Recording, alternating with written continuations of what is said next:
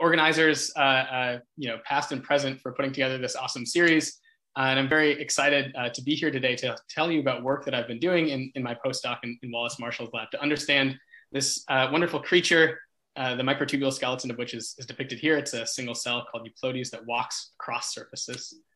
Um, so to, to, sort of set the stage, I just like to begin by emphasizing that life is fundamentally cellular and across all scales of um, uh, space and time and biological organization, we can sort of re- reduce most biological processes to, to things that, that cells are doing. And it's easy to get the idea um, that you know cells are these simple little building blocks, and the easiest way to get interesting biological phenomena is to pack a bunch of them together. And you know, I'm not going to deny that things like consciousness and animal physiology and movement are very interesting, but single cells in their own right are capable of some surprisingly sophisticated, even animal-like behaviors. So what you're seeing on the screen here, it's, it's not a worm, uh, but it is in fact a, uh, a ciliate, a single cell that is uh, hunting down and is now devouring a small animal called a rotifer. So these kinds of things are happening out in nature all the time. Um, cells are displaying these surprisingly sophisticated behaviors.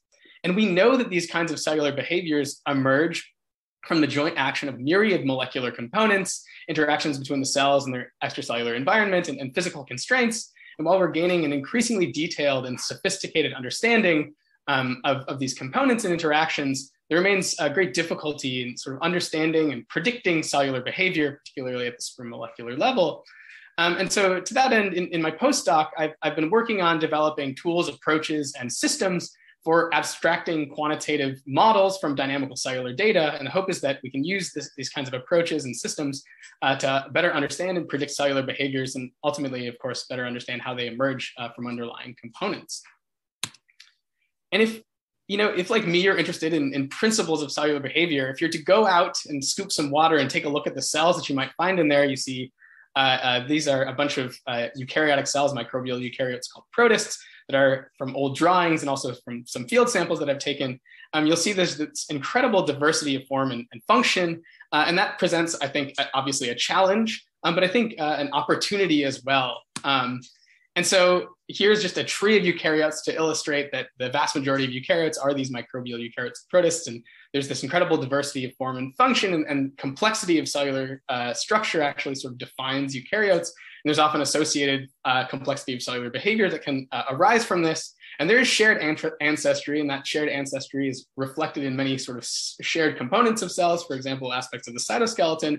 But I think importantly, this diversity gives us the opportunity to look and, and pick the just the best uh, system for our, our question uh, that we have chosen in science. And, and I think Wallace Marshall's lab in particular is very good at, at picking uh, among the diversity to find the, the perfect uh, cell for the, the job. And so the star of our show today here is this cell called Euplotes, and this is how I, I first encountered them. Uh, and you can see that there's this really uncannily insect or robot-like behavior that the, the cells display as they run around in their environment. They seem to be exploring and sort of up to something. And, and I, the, the cell is really a, an ideal system for me for, for three main reasons. And first of all, the structure of the cell makes them very amenable to quantitative uh, characterization and analysis. Um, uh, secondly, that they, they uh, display this broad range of interesting sort of behaviors. And, and finally, that these behaviors are actually also very amenable to quantitative analysis because a lot of what the cell is doing, as you see here, is, is walking around on surfaces. So this cell is about 120 microns. And you can find them in water all over the place. And of course, the question that immediately emerges if you see something like this uh, in a sample is, is how is it that a single cell without any sort of nervous system or brain, how can it be walking around like this? And the first order answer to that is, is using, uh, in the case of the species that I've studied, most uh, 14 tiny little legs is what they use. So here you can see this Euplotes cell perched on a piece of detritus, and uh, uh, it has a front and a back. And on the front, you see this fringy bit here. Uh, it's called a membranellar band. It's part of the structure that the cell actually uses to generate feeding currents, and it engulfs prey sort of in the middle of the underside of the cell. And uh, these appendages that stick down from the cell, they're called cirri, these like, like appendages, and the cell uses them for walking. And if you were to take a cross section through the cell, sort of right at the base of the cirrus, what you'd see uh, is that they're composed of uh, bundles of cilia. And so here's an electron microscopy, uh, just cross section of sort of the base of a cirrus, and you can see that there are uh, all of these uh, highly ordered, arranged cilia, sort of that extend outward. And if you look closely, you can see that basal bodies are connected mechanically to one another by these fibers. And uh, also there are fibers that emanate from the base of the cirri into the cell. And so Euplotes is actually one of the first uh, uh, or earliest uh, cells that fascinated uh, uh, microscopists in the early days of protistology. And they saw these fibers emanating from the cirri. They saw these complex cellular behaviors, and they, they speculated that this might be some sort of rudimentary nervous system. They thought that animals evolved from ciliates. We, of course, now know that, that this isn't the case, but there's obviously this, this fiber structure that we can now see by modern microscopy. So this is uh, sortubulin labeled cell imaged by confocal microscopy. And we can see these fibers are actually bundles of, of microtubules. And so as I said, you know, you watch these cells, you look at their structure, it's not hard to uh, think that they're sort of up to something uh, uh, as they walk around. And, and, this is some, some recent data from students in the Center, Cellular, Center for Cellular Construction summer course. Uh, and, and what they found is, is that these cells actually do seem to respond to food. So these are just plots of velocity distributions for individual cells and individual violin plots. And then the uh, distribution of the, the changes in angle along cell trajectories, like a persistence angle. And what they found is in, in abundant food, cells tend to slow down, they walk slower and they tend to walk in sort of straighter lines. And so they are sensing and responding to, to food in their environment, for example. Cells also uh, sense and respond to mechanical stimuli. So this, this turned out to be very important for uh, uh, cells avoiding predation. Uh, they're very mechanosensitive. And so uh, again, students in the summer course found all these examples of, of cell-cell collisions and cells colliding, colliding with their environment. So they are feeling mechanical stimuli. And it turns out that, that they're sort of paying attention to how they encounter mechanical stimuli. And in this case, um, we see that, that the cell, for example, in this video here, cells that walk and run into a cell respond differently than cells that are run into, uh, where you see this escape response from the sort of surprised cell where you don't see a similar sort of response. Okay, so they're paying attention to things in their environment and all of this different movement, all these different patterns of movement that we see in these cells ultimately arise from different patterns of movement of these cirri. So sort of the basic question that we have in Euplotes is how is the single cell coordinating the movement of the cirri? And so I, I, decided to focus mostly while I'm very interested in uh, the broad repertoire of behavior in just the simplest thing that I see cells doing, which is walk in relatively straight lines over a cover slip. So what you're looking at now is a cell you sort of have a focal plane that's right at the interface between the cirri and the cover slip. And you can see uh, this video is slowed down about four times from real time, that this cell moves these leg-like appendages and, and is able to walk in a straight line. So I said they're very amenable to quantitative analysis for a bunch of different reasons. And here's just to show you this sort of quantitative analysis pipeline that, I, that I've, I've chosen to pursue in, in asking this, this gait coordination question. And what we can do is we can label all of the cirri a through N here. And from cell to cell, these cirri are always in the same place. So I can identify the same cirrus from cell to cell. And I can encode its walking behavior. I sort of treat it as the cirri are making these binary decisions to move or not move. And I uh, have these 14 dimensional vectors. The cell has 14 cirri, 14 legs. And so uh, at each point in time, I can uh, give this uh, vector uh, for each entry a, a, value of zero if the cirrus is in contact with the cover slip, or a one if it's moving. So there really are sort of at a coarse grain level, these two states um, that the cirri switch between either stationary or uh, moving. And I can then characterize the walking trajectory um, through a bunch of points in time as a cell walks in sort of a, a, linear fashion. Here's a trajectory below. And I can ask, okay, what are, what are the cirri doing? And a first uh, guess for how uh, the gait might might appear is, is that maybe Euplotes, it, it looks kind of like an insect, maybe it walks sort of like an animal. And gait patterns in animals in general tend to have this highly deterministic character. So this is just some examples of different gaits from flies.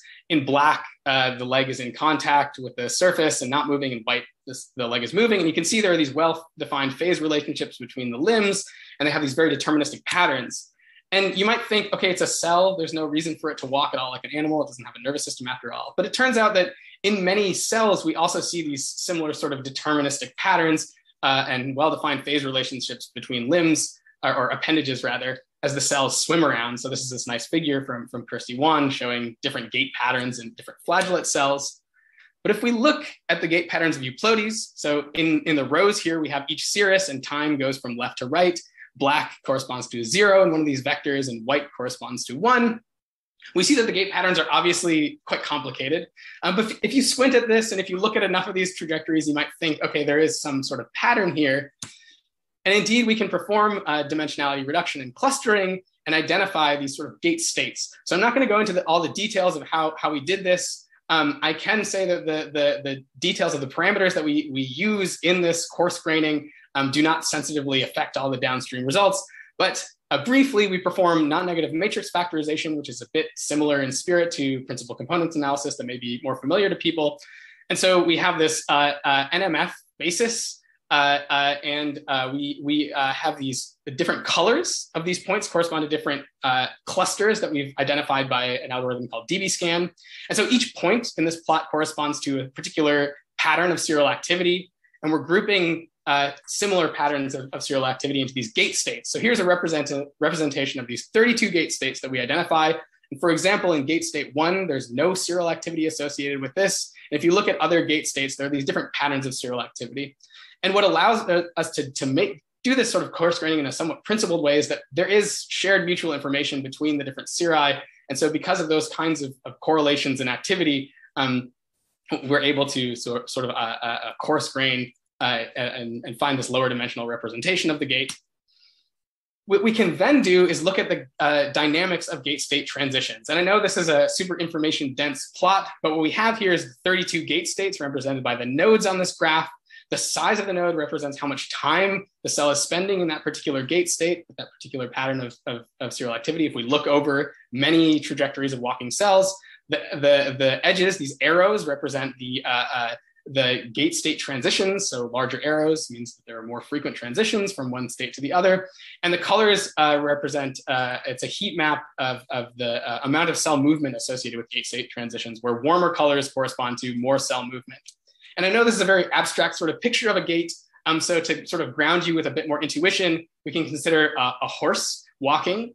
And it turns out that in the walking gait of a horse, there are these eight different configurations of, of limb activity and if we were to make a similar sort of representation of the horse gait, we'd find that there are these eight gait states and there are these deterministic transitions. It's always uh, transitioning from this particular pattern of gait or of gait states uh, as the horse walks across the surface. And obviously, Euplotes is, is much more complicated than that.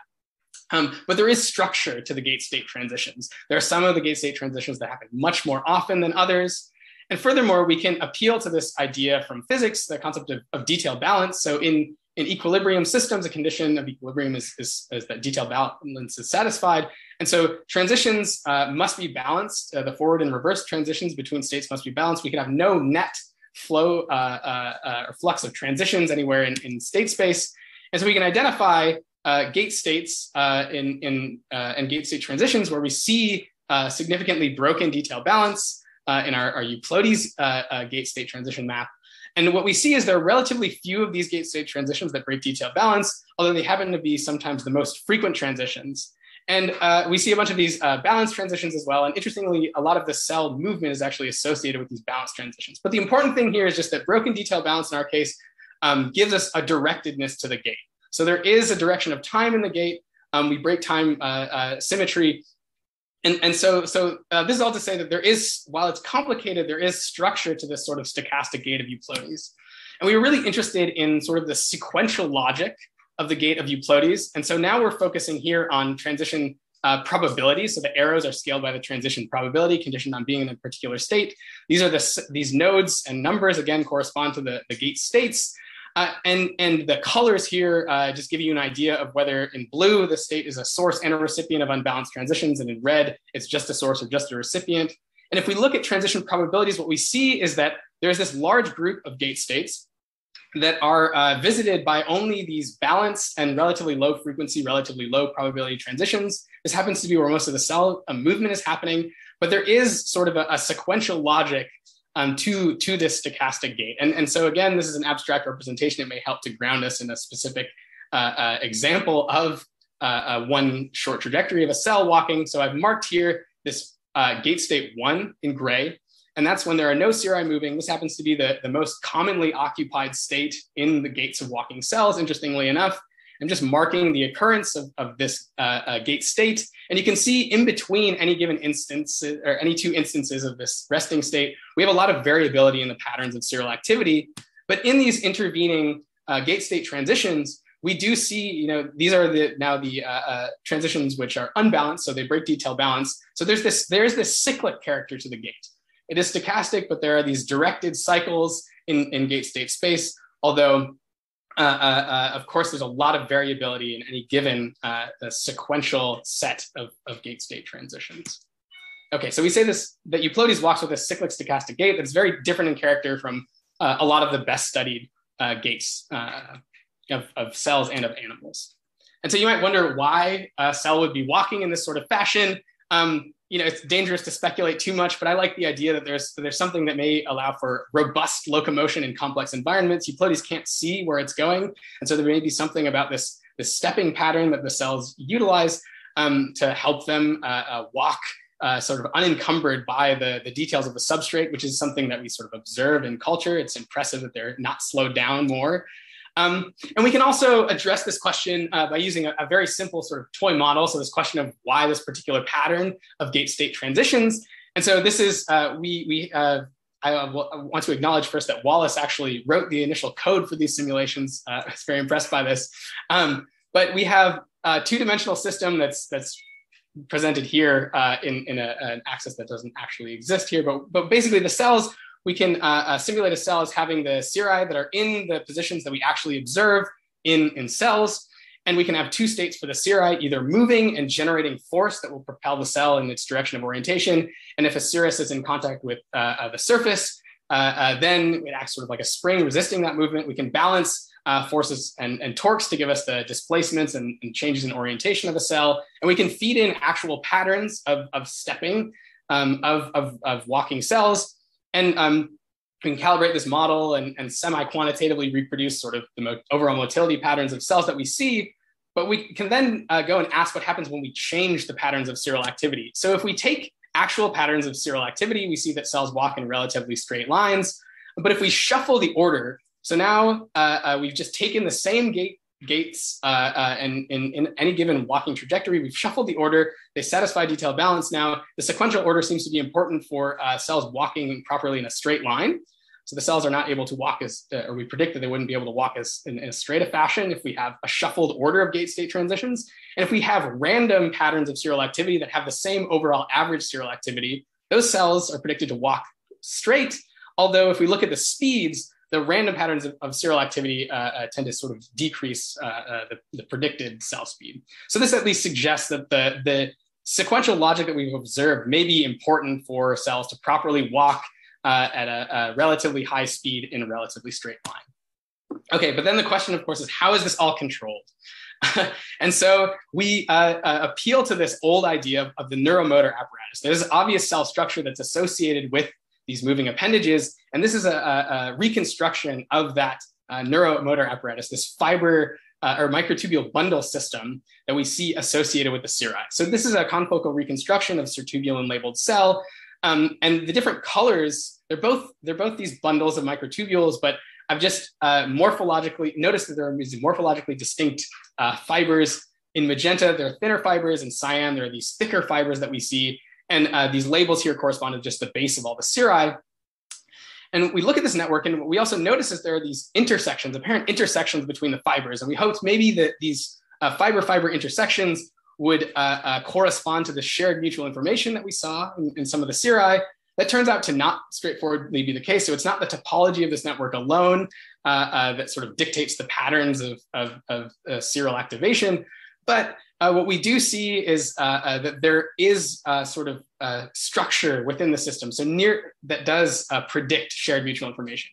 So nearby cirri that have similar kinds of fibers that intersect with similar portions of the distal part of the fiber of the, of the cell cortex, um, those tend to share the most mutual information. So that gave us hope that maybe this, this structure may be involved in gait coordination. And uh, excitingly, um, we, we introduced microtubule inhibiting drugs and we found that these drugs actually lead to motility defects. So what you're seeing is just in different colors, different cell trajectories. The little white dots are cells walking around on a cover slip. And under nocodazole treatment, so this is an inhibitor of microtubule polymerization, the cells seem to have trouble walking in a straight line. Um, so they walk along these circular and curving trajectories. And if we treat cells with, with Taxol or paclitaxel, um, we see that this drug actually is a microtubule stabilizer, and it seems to have almost the opposite effect of nocodazole, where the cells walk in sort of straighter trajectories.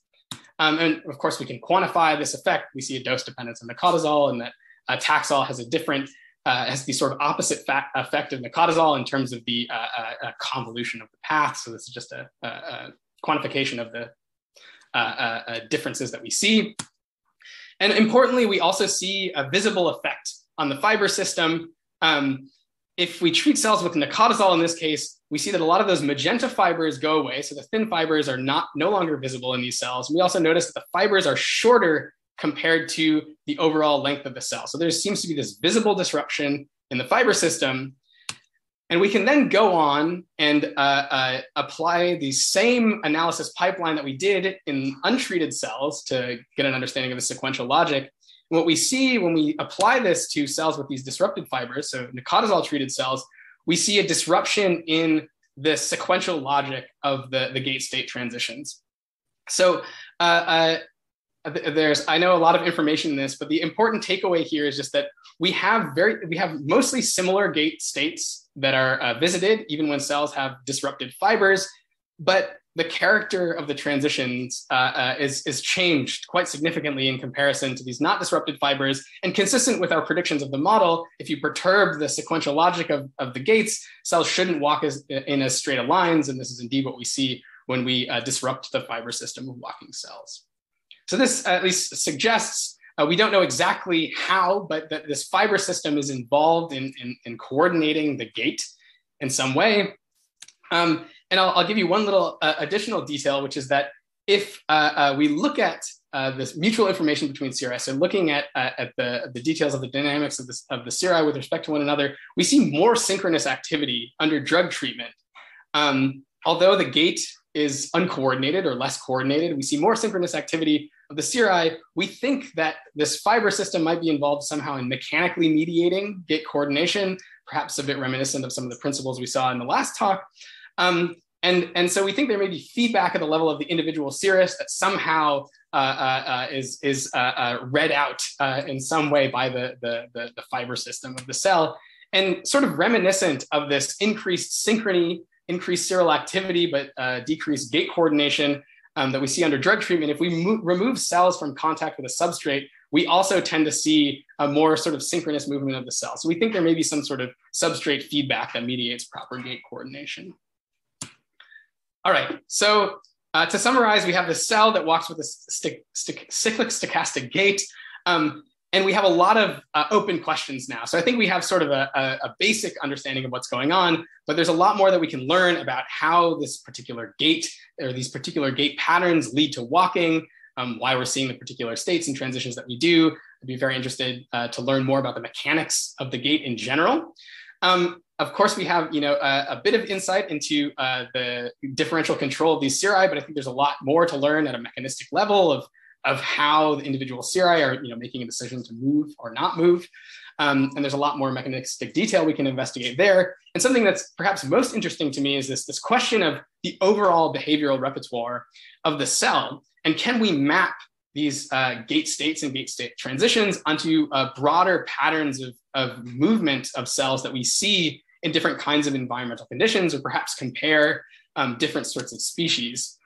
And uh, to that end, uh, there's been some uh, awesome recent work in the physiology course, in this case by Krishna Srinivas, who is looking at overall patterns of motility in cells. So this is just a plot of uh, cell velocity uh, and, and the sort of the relative fraction of, of a given trajectory where the cells uh, spend at that speed.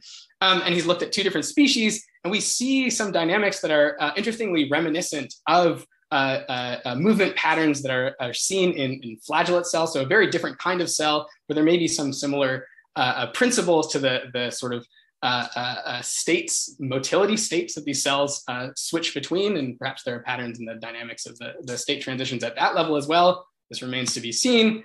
Additionally, in other species of Euplotes, we have different morphs. So we have the same, so these cells are all genetically identical, all from a single founding cell, but you can see this supergiant cell takes on very different movement patterns and actually uh, they, they can become cannibalistic and they eat their sisters.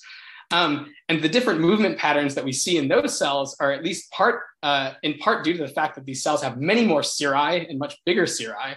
So they have about twice as many cirri as the non-giant cells. And uh, Krishna was able to actually uh, look at the movement patterns of those cells and show that they, they uh, the supergiants have these, these very different motility patterns compared to non-supergiant cells. So I, I think uh, ultimately for me, uh, uh, you know, I'm interested and I started with this idea of principles of cellular behavior and if we're to really get at those, then I think there's a lot of comparative work that must be done. And so I'm very interested in, in looking across the diversity of Euplotes where the phylogeny is well resolved and we know when different cirri are gained and lost over evolutionary time. And so it's interesting to think about uh, the relationship between uh, cell structure and cell movement and, and regulation of cell movement uh, across evolutionary timescales. Uh, there are many other ciliates that walk, and I'm very interested in understanding uh, gait patterns in other ciliates. And furthermore, there are many other cells that exhibit all sorts of very interesting kinds of behaviors. And so I've been uh, uh, trying to sort of apply these approaches that I've developed in Euplotes um, to things like hunting amoeba as well, um, uh, which in some cases actually walk around also across cover slips uh, as they move and, and hunt for prey. So with that, I would like to thank you all for your time and attention. Uh, thank wonderful collaborators and, and uh, uh, all sorts of wonderful lab mates and, and, and Wallace and in the Marshall Lab, uh, and also students uh, from this 2021 uh, summer course in the Center for Cellular Construction and also in the physiology course um, for, for pushing forward some more Euplotes research. Thanks. Oh, and very very exciting talk. So let me uh, let me start uh, this. So when I uh, listen to a talk, I'm thinking whether one can just formulate this uh, as an engineering problem. So you say there's a state space, right? Uh-huh. There's certain yeah. region you need to explore. Yes. And you only see a few of them transitions yes. non, you know, uh, while the detail values. So doesn't mean you know you can see okay here do we have a minimal set of uh, states uh, mm-hmm. transition we have to control in order for the system to able to explore uh, those space. Yes, and and I I, I think that's um, very much consistent with the the sort of picture that I have. So I, we were surprised to find that um, those uh, few state transitions that violate detail balance, those weren't actually associated with the most cell movement. And I do really like this idea that they're somehow pushing the cell into the proper region of state space or setting up uh, the subsequent tradition uh, transitions rather, where the details of the particular steps the cell uh, takes at that point don't really matter so much uh, that it sort of wound itself up into this, this right uh, sort of configuration within state space to then undergo these fluctuations that turn out to be productive for the overall movement of the cell. So yeah, I, I do I do like the idea that they're they're somehow related to to sort of control um, of the overall process. And I do suspect that if we are to look in uh, this is very wildly speculative, but maybe look across other systems and apply similar approaches that finding those uh, instances of broken detail balance might give us uh, uh some insight that would otherwise be hard to come to uh, in terms of uh, particular dynamics that are very important for the overall control of the sort of directed function of the system, as the case may be. Okay, Raphael has another question related to this kind of uh, engineering uh, uh, control idea. What are Euplotes optimizing when they move? Yeah. Are they energy efficient compared to other cells or microscopic organisms? For example, humans optimize energetic cost when they work. What uh, when they work? So what about you? Yeah, yeah. So, so this is this is a great question, and I, I will say that I am I'm always very wary of optimization uh, so sort of framing of, of these you know biological functions as sort of a solution to an optimization problem. Um, particularly with eukaryotic cells maybe bacteria you have many more cases where something a function is truly you know optimized at some biophysical limit. Um, and so the answer is i don't know what they're optimizing. I don't know if they're optimizing anything. But uh, the idea that i like is, is perhaps uh, that this gait uh, could be good for robust navigation. If, if, you know, as I said, the cell is not able to uh, see what sort of surface it's about to walk over, and perhaps there's something about this uh, strange stochastic gait that we see that that allows cells to um, uh, uh, continue to move in, in a directed fashion even as the substrate changes. And of course, there are lots of experiments that we can imagine to sort of test this idea. I think simulations can also help uh, in testing this, but I, I don't know uh, what they're optimizing, if they're optimizing anything. We can also imagine a situation where, you know, this cell has this very asymmetric structure. And in a lot of the organisms where we see these uh, deterministic gait patterns, um, we see uh, uh, that there's symmetry to the organism itself. So it's possible that, that uh, this is just the kind of gait that you get uh, from an asymmetric system that, that walks. Um, so there may not be any, anything optimized. It may just be that you know there's a physical constraint that could sort of explain what's going on. Um, so that was a sort of long, convoluted answer to your question, and the real answer is I don't know what's being optimized. Uh, it's an interesting thing to consider, and I think simulations and experiments could help us get towards that answer, but I don't know. Okay.